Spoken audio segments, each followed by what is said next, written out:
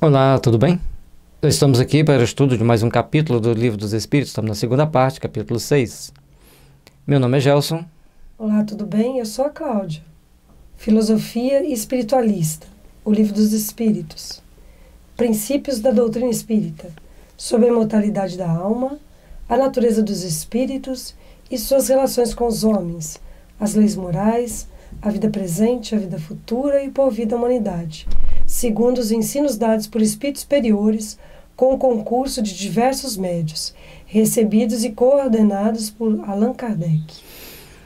Em vários lugares da Europa e também do mundo, médiums recebiam mensagens e encaminhavam por Kardec. Ia por carta, levava tempo para chegar, mas chegava. Ele lia, avaliava essas cartas, essas mensagens, e ali foi montando o corpo da doutrina espírita. E com o tempo, ele conseguiu montar o Livro dos Espíritos, o Livro dos Médiuns, o Evangelho, organizando as mensagens segundo a classificação delas dentro do capítulo mais adequado, no caso do Evangelho, e no Livro dos Médiuns, as mensagens foram sempre procurando para ser organizadas no sentido de esclarecer todo o trabalho que era feito na mediunidade. Raríssimas as mensagens no livro dos médios que são assinadas. Normalmente, algumas eram por ele mesmo escritas, pela equipe dele, e outras até eram mensagens dos espíritos, mas eles não colocavam para deixar o corpo ali do, no livro dos médios como sendo uma fruto 100% da observação dele, mas com a ajuda dos espíritos, claro que tinha. E depois tem a Gênese, tem o céu e o inferno, que aí são várias mensagens dos espíritos esclarecendo como que eles estavam no mundo espiritual, deixando para nós esse conjunto maravilhoso de ensinamentos.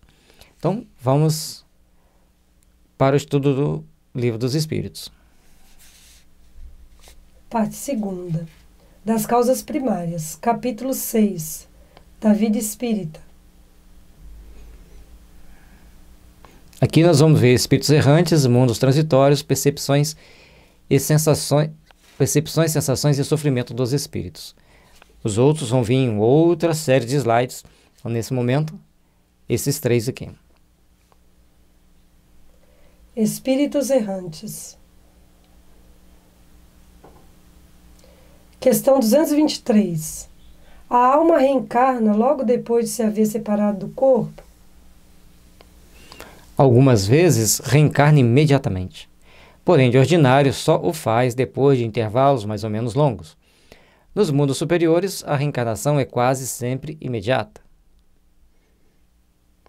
Sendo aí menos grosseira a matéria corporal, o espírito, quando encarnado nesses mundos, goza quase que de todas as suas faculdades de espírito, sendo o seu estado normal o dos sonâmbulos lúcidos entre vós.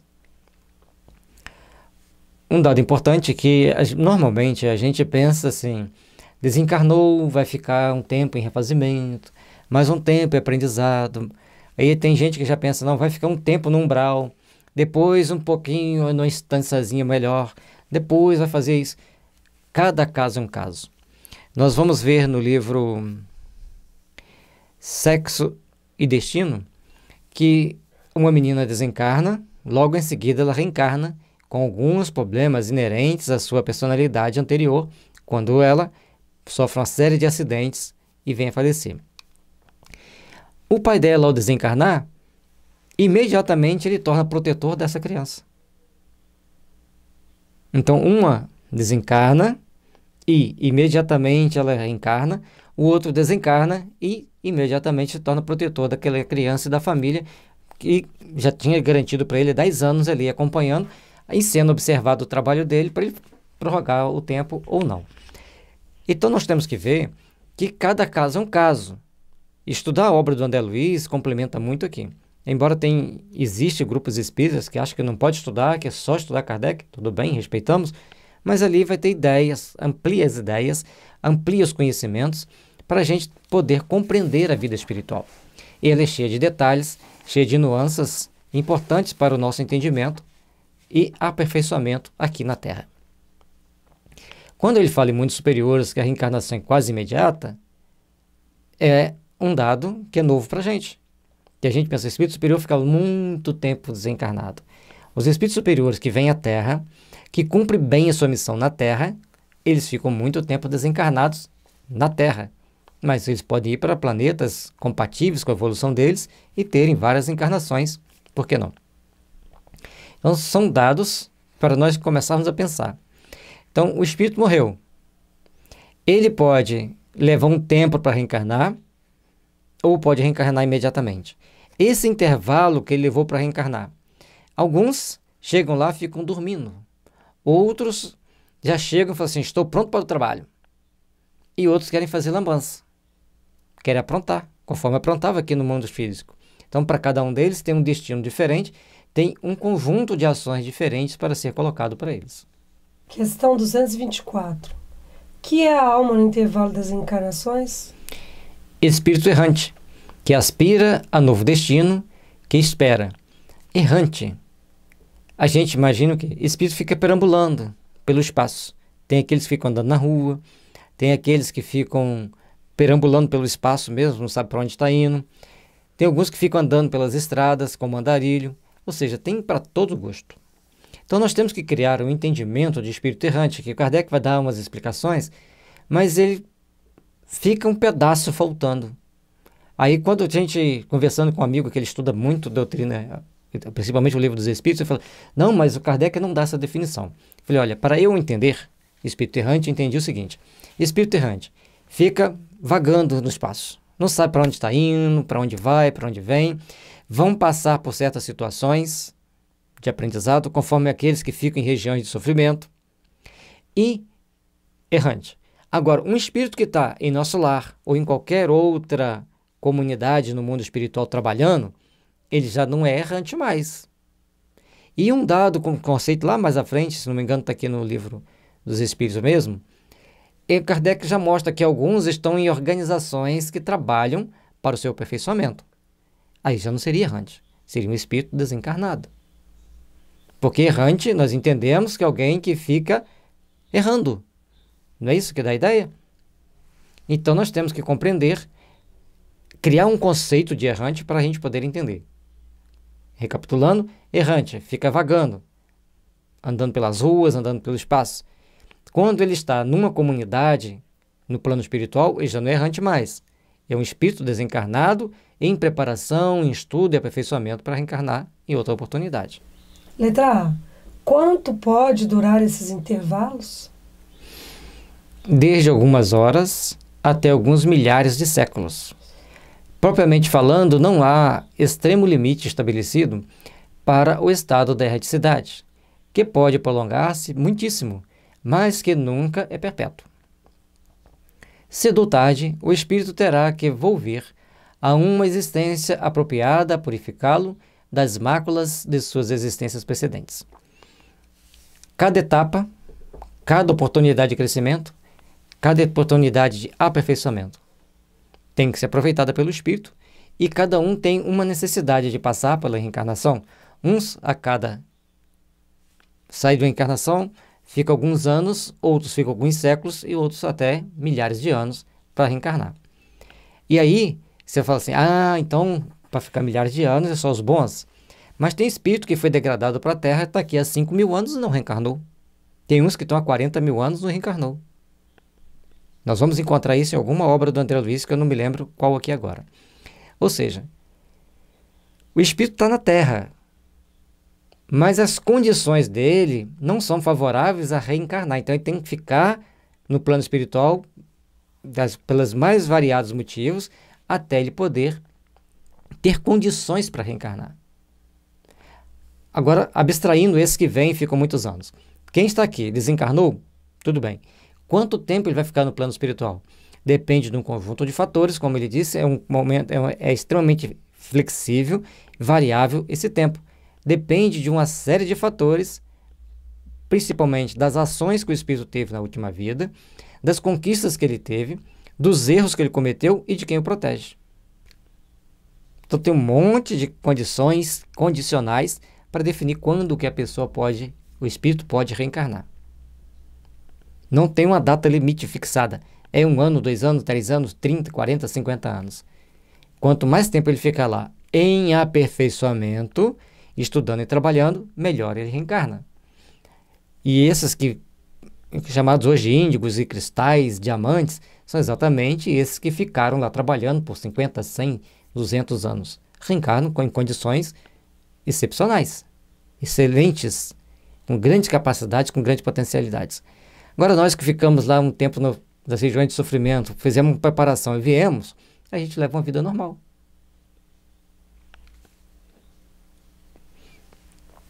Letra B. Essa duração depende da vontade do espírito ou lhe pode ser imposta com expiação? É uma consequência do livre-arbítrio. Os espíritos sabem perfeitamente o que fazem, mas também, para alguns, constitui uma punição que Deus lhe inflige. Outros pedem que ela se prolongue, a fim de continuarem estudos que só na condição de espírito livre podem efetuar-se com proveito. Já explicamos antes, e só não falamos da questão da reencarnar por castigo. Então, tem determinadas condições que o espírito é colocado como uma punição para ele. Agora você tem que reencarnar. Por uma série de fatores, boas ou ruins. Porque chega um determinado momento que o espírito tem necessidade de reencarnar. É uma necessidade que brota do íntimo dele, eu preciso reencarnar. E os protetores sabem disso. Então, é muito mais sofisticado os mecanismos do que a gente imagina. Temos que entender que o tempo é variável eles reencarnam por livre e espontânea vontade, porque precisam, mas depende de autorização dos seus protetores para vir. E tem aqueles que são imposto. Você vai agora.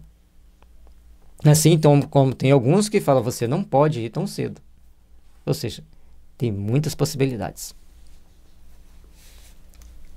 Questão 225.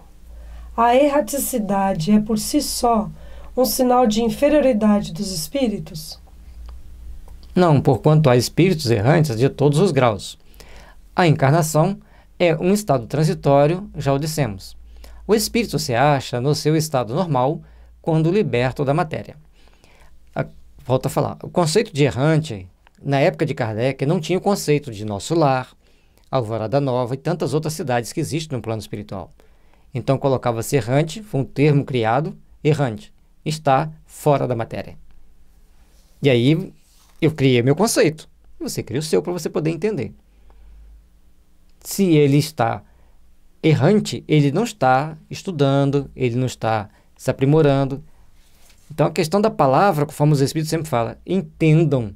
Queremos que vocês entendam. As palavras para vocês é um problema, para nós não é. 226. Poder-se-á dizer que são errantes todos os espíritos que não estão encarnados? Sim, com relação aos que tenham que reencarnar. Não são errantes, porém, os espíritos puros, os que chegaram à perfeição. Esses se encontram no seu estado definitivo. Entenderam? Então, errante é aqueles que estão em trânsito. Agora, os espíritos que estão em nosso lar são espíritos puros? Não, são espíritos bons. Porque uma condição para ir para nosso lar é a bondade. A gente fala de nosso lar porque é aquela colônia que ficou conhecida no Brasil todo por, pelos espíritas no Brasil e no mundo, pelo livro Nosso Lar e pelo filme Nosso Lar, que em inglês é Astral City. Então, nós temos ah, ali uma expressão de como é uma organização no plano espiritual. Quem está em nosso lar não está errante. Ele está trabalhando dentro de uma organização. Isso é importante, um, o conceito é importante para nós entendermos. Os espíritos, aí tem aqueles mais radicais que falam assim, mas como você pode contradizer Kardec? Talvez ele esteja até aqui do meu lado me intuindo para explicar para as pessoas que errante é uma coisa e estar na organização espiritual é outra. Talvez, tá, gente? Não vai falar que eu afirmei que está, não. Ou algum bom espírito para dar à pessoa uma luz. Porque já participei de vários estudos espíritas e quando falo, o que é espírito errante? E ninguém consegue dar uma definição. Então nós temos que criar uma definição entendível para que a gente possa conseguir raciocinar dali para frente. Os próprios espíritos falam que nós temos que entender. E nós não estamos contrariando a doutrina espírita quando criamos um conceito para que nós e as pessoas que estão chegando à doutrina espírita consigam entender as diferenças. Então, como ele não tinha duas palavras no momento lá, espírito errante, espírito em uma organização, ele deixou errante e os espíritos concordaram, falaram assim, um dia alguém vai lá e explica. Deixa eles pensarem. E é até bom quando tem uma dúvida. E quando tem dúvida, você estuda, estuda, estuda, pesquisa, pesquisa, pesquisa, medita, medita, medita, quebra a cabeça e tenta achar uma solução. Se tiver prontinho, a gente, ah, tá prontinho, tá fácil. Não é assim? E nem pensa nas consequências da situação. No tocante às qualidades íntimas, os espíritos são de diferentes ordens ou graus pelos quais vão passando sucessivamente, à medida que se purificam. Cada um de nós estamos num grau evolutivo, uns são superiores, outros inferiores, em patamar evolutivo, mas todos são iguais perante as leis. E, aliás, no tocante à superioridade, quanto mais superior, mais o rigor da lei. No mundo espiritual, quanto mais superior ao espírito, mais o rigor da lei. Então, se você quer se achar um espírito superior, saiba que você vai ser cobrado com muito mais ênfase, com muito mais intensidade. E a questão desse grau de evolução dos espíritos, a gente vai encontrar da questão 96 a 114 e mais precisamente o capítulo 1 da segunda parte. É importante ler todo o capítulo 1 da segunda parte, quando vai estar explicando para a gente as escalas espíritas. Com relação ao estado em que se acham, podem ser encarnados, isto é, ligados ao corpo, errantes, isto é, sem o corpo material e aguardando nova encarnação para se melhorarem, espíritos puros, isto é, perfeitos, não precisando mais de encarnação. Então, a condição que eles vão estar, ou encarnado ou desencarnado, o desencarnado vai estar sempre se preparando para reencarnar, e aqueles que já não precisam mais da reencarnação. Questão 227. De que modo se instruem os espíritos errantes? Certo, não o fazem do mesmo modo que nós outros? Estudam e procuram meios de elevar-se. Veem, observam o que ocorre nos lugares aonde vão, ouvem os discursos dos homens, doutos, e os conselhos dos espíritos mais elevados, e tudo isso lhes incute ideias que antes não tinham. Aí você vai falar assim: olha, os errantes estão estudando. Cada um cria o seu conceito. Então, os espíritos no plano espiritual tem aqueles que ficam vagando pelo mundo espiritual. É só ler a série Nosso Lar, que já dá uma ideia de que a gente, do que eu quero dizer. Tem aqueles que estão em instâncias de refazimento, que são aquelas colônias de apoio, que os espíritos ficam lá deitados, aquele monte de espírito deitado. Alguns só respiram, ou mal respiram. E tem aqueles que ficam trabalhando com eles.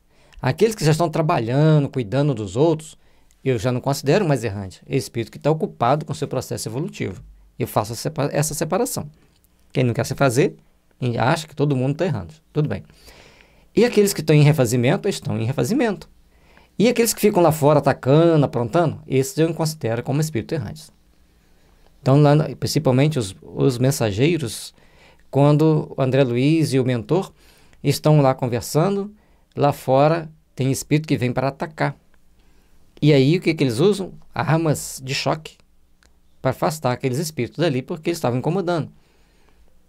E, e aí eles falam que até no plano espiritual os bons têm que desenvolver armas para contra-atacar e se defender da ação das trevas.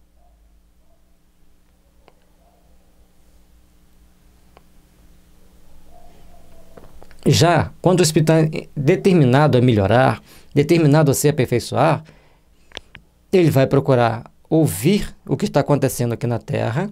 Para quê? Por que, que ele vem, eles vêm nos ouvir? O choque anímico. Eles precisam dessa energia humana para que eles se preparem para reencarnar. E também ver o que está acontecendo aqui para eles saberem como nós estamos pensando e o que, é que eles terão que pensar diferente. E depois, assistiu aqueles, aquelas palestras, assistiu aqueles estudos, eles vão para os planos superiores, as instâncias de refazimento, outras cidades no plano espiritual, onde então eles vão fazer o estudo, tal como é aquele assunto visto do ponto de vista dos espíritos, que é diferente do nosso.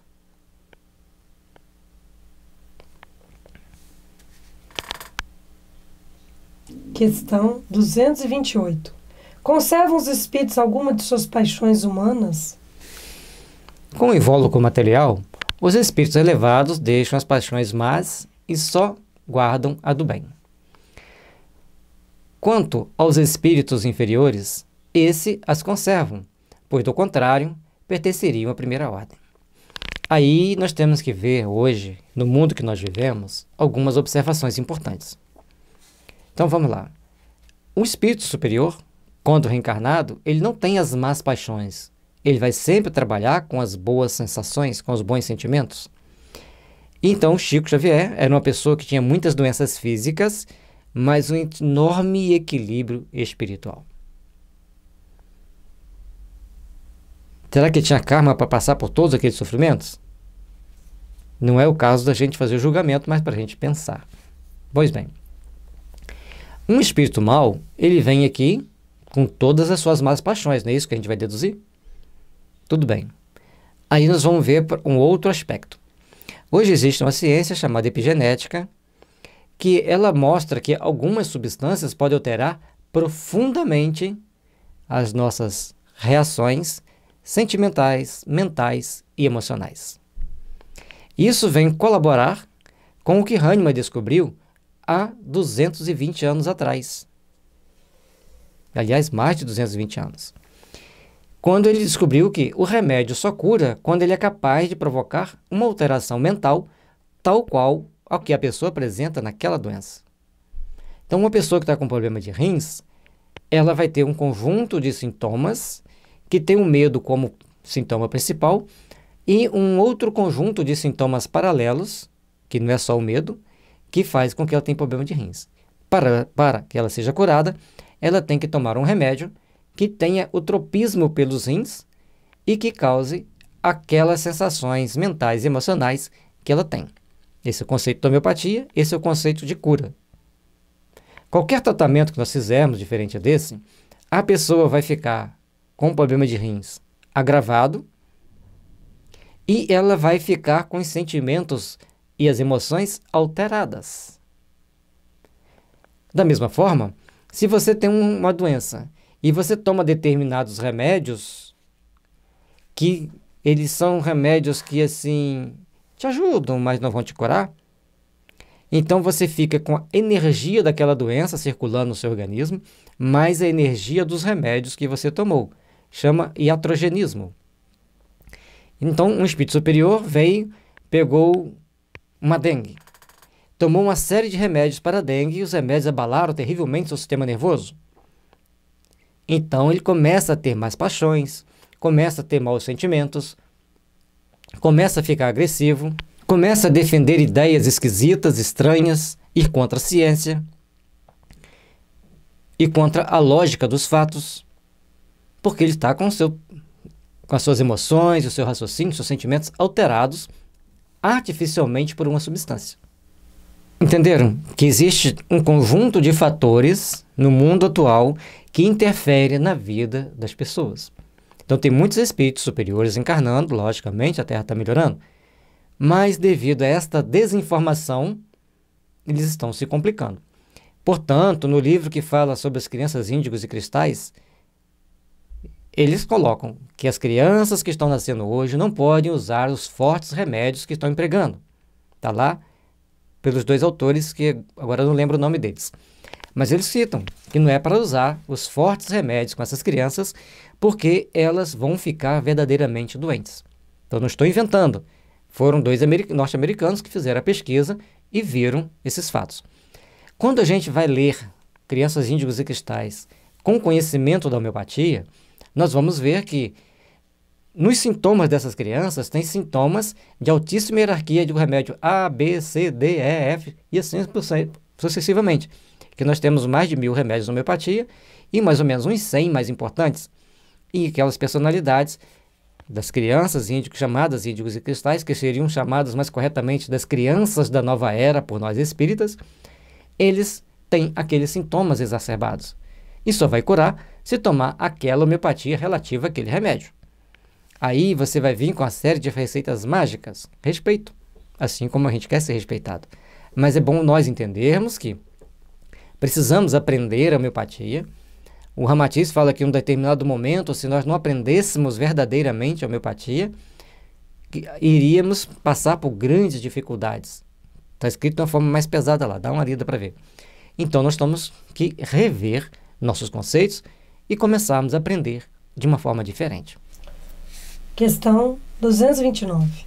Por que deixando a terra, não deixam aí os espíritos todas as más paixões, uma vez que lhes reconhecem os inconvenientes? Vês nesse mundo pessoas excessivamente invejosas. Imaginas que mal o deixam, perdem esse defeito? Acompanha os que da terra partem, sobretudo os que alimentam paixões bem acentuadas. Uma espécie de atmosfera que os envolve, conservando-lhes o que tem de mal.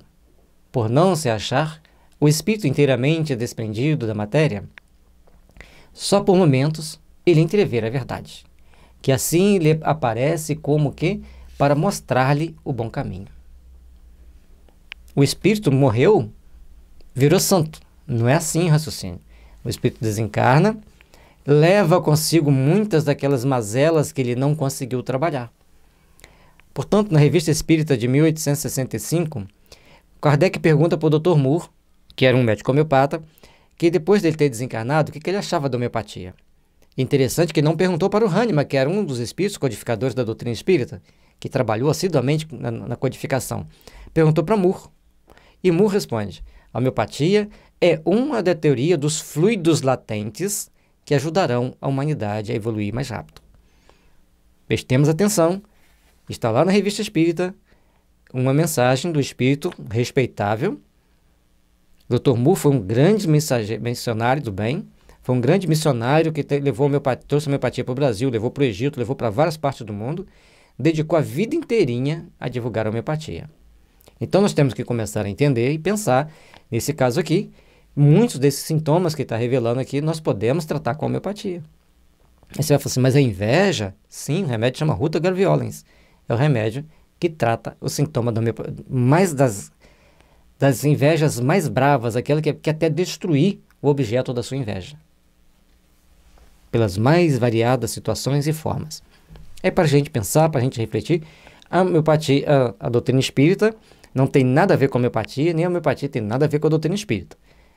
Como a gente está aqui falando da doutrina espírita, estamos usando um exemplo da ciência que pode ajudar o espírito a se melhorar. Questão 230. Na erraticidade, o espírito progride? Pode melhorar-se muito, tais seja a vontade ou desejo que tenha de consegui-lo. Todavia, na existência corporal, é que põe em prática as ideias que adquiriu. Conforme nós falamos, nas chamadas crianças da nova era, são crianças que aperfeiçoaram muito no mundo espiritual.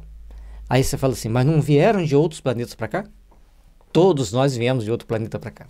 Primeiro passo, 90% no mínimo dos espíritos que estão na Terra vieram de outros planetas para cá. E aliás, 90% eu estou sendo muito modesto, vamos, podemos colocar 95% com segurança. Então, vieram, viemos de outro planeta para cá. Aqui nós temos que passar por processo de aprimoramento, de melhoria. Pode ser que essas crianças que estão vindo hoje com missões muito especiais tenham feito cursos, pode ser, repito, tenham feito cursos em outro planeta ou instâncias muito superiores em torno da Terra. Então estão bem mais preparados. São aqueles que ficaram mais tempos no mundo dos espíritos. Mas também tem aqueles que se prepararam para dar trabalho para a gente, para serem educados, evangelizados por nós. Tem os dois times. E nós temos que saber discernir para melhor servirmos, para melhor ajudarmos. Questão. Ah, só um detalhe aqui para a gente fechar. O espírito no plano espiritual ele vai melhorar, vai aperfeiçoar, vai adquirir conhecimentos. Mas ele precisa da reencarnação para fazer determinados aprimoramentos que só a encarnação pode oferecer. Questão 231. São felizes ou desgraçados os espíritos errantes? Mais ou menos conforme seus méritos. Sofrem por efeito das paixões, cuja essência conservaram. Ou são felizes, de conformidade com o grau de desmaterialização a que hajam chegado. O livro Céu e Inferno é cheio desses exemplos. É um livro de exemplos de quem é feliz, quem é mediano, quem é infeliz e assim sucessivamente. Na erraticidade, o espírito percebe o que lhe falta para ser mais feliz e, desde então, procura os meios de alcançá-lo. Nem sempre, porém, é permitido reencarnar como fora de seu agrado, representando isso para ele uma punição. O espírito quer reencarnar para consertar determinadas mazelas, mas ele tem que se aprimorar mais lá no plano espiritual, dá mais um tempo. E tem várias leis que regulam até quem a gente pode encontrar e quem a gente não pode encontrar. Também é previsto. Então, tem certas filosofias orientais que falam que alguma pessoa chega na nossa vida para criar um problema muito sério. E outras para nos ajudar. E tem algumas que a gente não pode encontrar. Podem ter certeza disso. E eles preparam isso. Tem, num dos livros do Manuel Filomeno de Miranda, relata um caso de uma jovem que não poderia encontrar certas pessoas pelos problemas que ela iria enveredar e cair no mesmo erro do passado. Então nós temos que ter cuidado com relação a isso. A reticidade vai fazer com que o espírito tenha possibilidade de se aperfeiçoar. Aqueles que são mais inteligentes vão procurar preparar para o bem. Aqueles que não são tão inteligentes vão fazer de qualquer coisa. Eu entendo que inteligência, no sentido estrito da palavra, é quando você usa para o seu benefício e da benefício da coletividade. Quando você quer prejudicar alguém, aí é refinamento da maldade, não é inteligência. Porque um dia ele vai ter que pagar e reparar todos os erros cometidos. Temos que procurar nos aperfeiçoar em tudo. Questão 232. Podem os espíritos errantes ir a todos os mundos?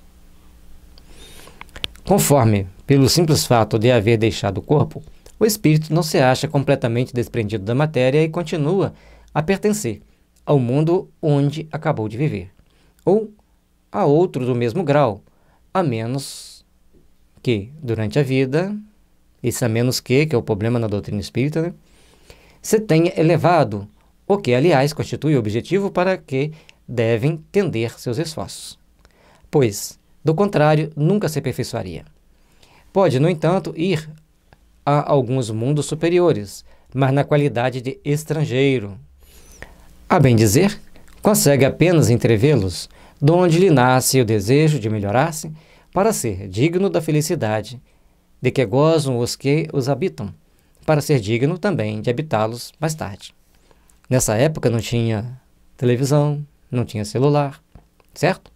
Então, quando ele fala assim, entrever, não pode existir um filme num plano espiritual, olha, isso aqui é a vida no mundo superior, essa aqui é a vida no mundo de expiação, de provas. E assim o espírito ir passando por vários aprendizados, vendo ali os vídeos daquele, da vida naqueles planetas, não pode existir? Lá, lembre-se, no mundo espiritual, tudo que nós temos aqui está no mínimo 50 anos mais atrasado do que eles têm lá.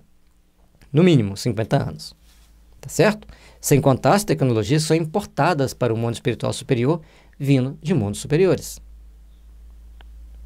Tá certo? Ou vocês acham que Jesus não tem condições de pedir a um dirigente de um planeta superior, por exemplo, de Orion, equipamentos sofisticados para que nós tenhamos aqui no mundo espiritual possibilidades de nos instruir melhor. Lógico que pode. E certamente existe. O, filme, o livro Nosso Lar, ele abordou superficialmente aquilo que nós dávamos conta de entender. E os estudiosos que ficam debulhando o livro, estudando, reestudando, vão achando detalhes importantes que existe lá no livro. Tudo bem, então vamos lá. Vamos voltar aqui no início. O espírito, para ir para outro mundo, ele depende de algumas condições. A menos que, que eu falei que o grande problema na doutrina espírita, que a pessoa fala assim, não, porque o espírito, porque que vai fazer isso, vai fazer aquilo. Aí chega um e fala assim, a menos que. Aí desmonta aquela teoria ou reconstrói aquela teoria. Então, o espírito pode ir? Pode. Assim que desencarnou? Pode. Desde que ele tenha progredido. Ter tido feito por merecer, feito por conseguir. Veja bem, você está aqui e quer dar um passeio em Moscou. Uma cidade linda, maravilhosa, uma das cidades mais seguras do mundo. Você pode pegar dinheiro no banco, sair andando na rua, tranquilo, que ninguém vai te roubar. Aí você quer ir lá passear. Você vai ter que fazer o quê? Economia, juntar seu dinheiro, comprar passagem de avião, reservar um hotel, pagar um guia turístico, porque as letrinhas lá são diferentes daqui, então terá uma grande dificuldade para você poder ir andar lá. Tem que saber a época do ano que você pode ir, porque determinada época do ano lá dá menos 30 graus, outras fica com menos 2, menos 10, coisa que brasileiro não vai gostar muito. Então, nós temos que saber a época do ano que nós podemos ir, temos que ter o dinheiro, levar agasalho, porque a temperatura muda muito rapidamente, e ter o guia turístico e ter o hotel reservado. Isso nem gasta dinheiro, informação, planejamento. Da mesma forma, para você ir para outro planeta, você vai encontrar tantas dificuldades quanto. Entendeu? Diferença de temperatura, diferen diferença de irradiação estelar. Tem uma série de diferenças que nós temos que começar a pensar. Então, a menos que você tenha feito a sua reforma íntima, a sua melhoria, melhoria conquistado os seus bônus horas, o seu din-din espiritual, para que você possa fazer isso. E, além de tudo, aqui a gente não tem que tirar o passaporte, adquirir o visto, o carimbo. Tem que ter o mesmo processo. E como é o passaporte no mundo espiritual? Proteção superior, autorização superior. Para sair das fronteiras da Terra, você tem que ter autorização superior, assim como para você sair das fronteiras de um país. Tem que ter autorização de uma autoridade. Viram como as coisas são bem sofisticadas? Por isso, nós temos que entender que a doutrina espírita vem trazer para a gente uma série de, de informações importantes. Podemos sair do planeta e ir para outro planeta? Podemos, mas desde que tenhamos que nos aperfeiçoado. Tenhamos feito por onde melhorar, por onde procurar conquistar. Pelo menos em ideia, o que pode ser ir ao mundo superior. Questão 233. Os espíritos já purificados descem aos mundos inferiores? Fazem-no frequentemente com o fim de auxiliar-lhes o progresso. A não ser assim, esses mundos estariam entregues a si mesmos, sem guias para dirigi-los. Já deixa claro aqui que quem dirige o nosso planeta não é daqui. Aí a pessoa vai falar assim: e Jesus? Ele não é daqui. Antes desse mundo ser, eu sou. Ele criou a Terra, na forma a gente vê no livro A Caminhos da Luz. Emmanuel descreve: Jesus criou a Terra tudo que tem aqui, ele foi juntando as matérias nas poeiras cósmicas e montando essa nossa morada sideral. Depois ele foi acolhendo por muito amor todos aqueles espíritos rebeldes, complicados, renitentes no erro. Foi trazendo para cá para educá-los, para instruí-los, esperando que todos se regenerem. Cada um passando pelo seu momento, passando pela sua oportunidade, seu aperfeiçoamento, para crescerem e aperfeiçoarem-se para Deus. Essa é a função de nós estarmos aqui. Jesus, no extremo do seu amor, no extremo da sua misericórdia, nos dará a oportunidade de procurarmos, nos melhorarmos, nos aperfeiçoarmos para sermos, então, melhores hoje do que fomos ontem, e amanhã melhor do que hoje, e melhorarmos sempre tal qual é a lei. Trabalhemos, pois, pela nossa melhoria, pelo nosso aperfeiçoamento, para sermos daqueles que contribuem com os espíritos que gerenciam a vida nesse planeta.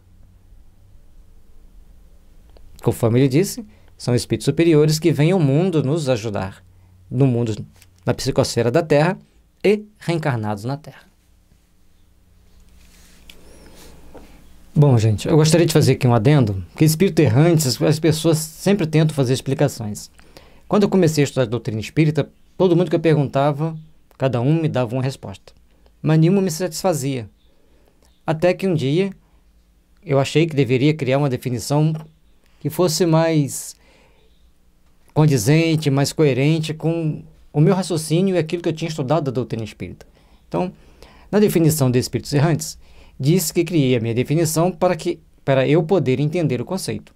Vejamos. Então, eu estou entendendo o conceito. Se você entende de outro jeito, se algum teu amigo explicou de outro jeito, eu respeito. Mas, portanto, eu fiz esse adendo separado porque não está na codificação. Vejamos. Na codificação não tem uma declaração explícita de que existem cidades organizadas no mundo espiritual. A gente vai ver aqui, eles vai falar de uma forma muito sutil, que dá para entender, tá? hoje nós entendemos, ah, isso aqui está falando de uma cidade no mundo espiritual, mas não está claro. Olha, eles são organizados em cidades, cada cidade tem a sua classificação, condição evolutiva, uns são mais organizados, outros menos, quanto mais evoluído, mais organizado, não tem falando assim. Portanto, as obras do Chico, barra André Luiz, série Nosso Lar, vieram dar complementação e melhor entendimento à doutrina espírita. Aí a pessoa fala, mas eu não acredito em nada do que o Chico falou. Tem coisa que Chico escreveu que agora a ciência está provando. Aquela série André Luiz ali, na série Nosso Lar, série André Luiz, agora a ciência está provando. Olha aqui, o Chico falou isso. E tem inclusive artigos científicos aprovados, aceitos e aprovados, falando disso, principalmente de um médico chamado Décio Iandoli que ele está provando que as obras do Chico estavam 50, 60, 70 anos à frente da ciência. Certo? Então vejamos. Espírito errante, aquele que está vagando por aí, espírito em reparação, está em expiação nos umbrais, nas câmaras de regeneração, das estâncias de refazimento, e espírito em regeneração, aquele que já entende a necessidade de servir a coletividade e trabalha no auxílio nos necessitados. Agora nós vamos ver cada tópico desse direto, ele sozinho em cada slide. Falei um pouco rápido aqui para a gente ir para as definições ampliadas. Espírito errante, aquele que está vagando por aí, nas cidades, nas ruas, nas estradas, nos umbrais e nas trevas. Esses são os que estão errando. Esses que são aqueles eu entendo os espíritos errantes. Certo? Espírito em reparação. Está em expiação nos umbrais, nas câmaras de regeneração, das instâncias de refazimento. Bom, isso aqui é uma síntese, então vamos lá. São aqueles espíritos que já apresentam algum grau de arrependimento e estão espiando nas regiões espirituais apropriadas às suas condições. No filme Nosso Lar, quando André estava lá naquela região de sofrimento, que as pessoas ficavam xingando ele, ele já tinha um certo grau de arrependimento, portanto, ele não ficava vagando, ele ficava numa região restrita a, para ali se depurar, para ali estar reparando a sua consciência e tomar consciência de Deus. Quando ele faz a oração, então o que acontece? São esses espíritos que, ao apresentarem condições de serem recolhidos ou amparados das regiões de sofrimento, são levados para as câmaras de regeneração, nosso lar, ou nas câmaras de refazimento dos postos de socorro e apoio, de acordo com as condições de cada um. Vocês veem, no, no filme fica mais visível, né, quando a gente lê, às vezes a gente não percebe, que junto de André Luiz tinha vários espíritos. Certamente outros foram amparados, mas André foi para nosso lar. Outros ficam nas regiões intermediárias. Nós vamos ver isso na toda a série Nosso Lar, aquelas instâncias intermediárias, aqueles pontos de socorro, aqueles pontos de apoio, que os espíritos são levados para ali para dar o primeiro amparo, para dar o primeiro apoio, primeiro socorro. E alguns dali vêm para reencarnar e outros dali vão para outras instâncias mais apropriadas às suas necessidades, porque tudo é de acordo com as condições de cada um. Então não inventamos, demos um conceito para que eu possa entender. Se você tem um outro que entende de outra forma, eu respeito, tá? Vejamos outro. Espíritos em regeneração.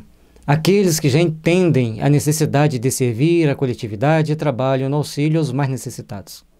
Esses estão nos mais variados níveis de necessidade, entendimento e conhecimento, mas já desenvolveram o entendimento da necessidade da bondade e da necessidade de fazer o bem, preparando-se para reencarnações edificantes na Terra.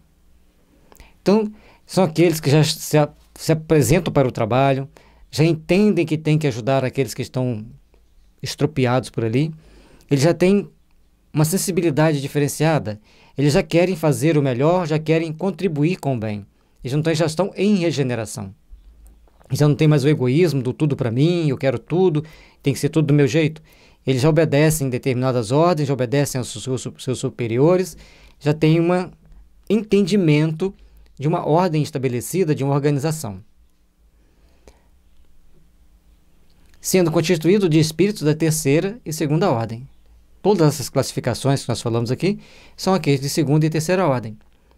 Então, dentro daquela escala espírita, eles vão estar lá nas mais diferentes classes. E, no meu entender, esta explicação é bem dentro da lógica espírita e condizente com a escala espírita do capítulo 1 da segunda parte desse livro, O Livro dos Espíritos. Então, a gente deu um conceito que foi aquele que eu consegui para eu poder entender, porque veja bem, o espírito chega, a gente fala para ele: "Ah, você está errante, você vai para um lugar, continua errante". Como que eu vou conversar e esclarecer um espírito assim? Então, ele está em situação equivocada, tomando um monte de atitudes que não deve tomar.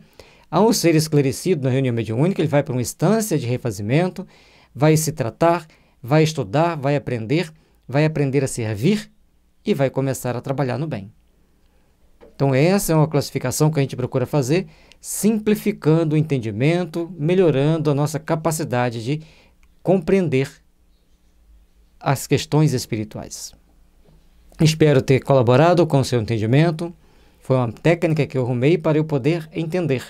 Então, esta foi a forma que eu entendi, que eu procurei um recurso para poder compreender o conceito e tomar, então, um, uma linha de estudo para poder tanto conversar com os espíritos quanto entender o que está escrito.